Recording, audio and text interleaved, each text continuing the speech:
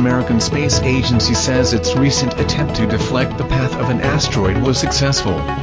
Scientists have now confirmed the orbit of 160 m wide 520 feet space rock known as Dimorphos was altered when the DART probe struck it head-on last month. Researchers came to the conclusion after making measurements using a range of space and Earth-based telescopes. The mission was conceived to test a potential strategy to defend the Earth against threatening objects.